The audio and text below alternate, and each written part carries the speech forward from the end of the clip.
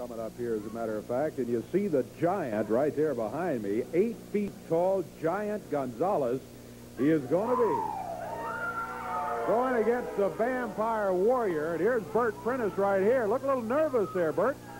You know, Dave Brown, what usually happens after a title changes hands? It's called a rematch, right? Usually you get a rematch to get your belt back. But that lying, thieving, conniving crook Eddie Marlin will give me a rematch against that sissy Jeff. He says, oh no, first you have to fight. And I mean fight. Eight foot tall giant Gonzalez. Are you out of your mind, Eddie Marlin? Have you totally went off the deep end? You belong in a rest home. And if you keep doing this to me, I'm going to take you to the funeral home because you cannot do this to me time after time. We deserve a rematch with Jeff. But that's okay. Eight foot tall. All I got to say for you is you're a lot bigger lunch and a lot more blood for the vampire.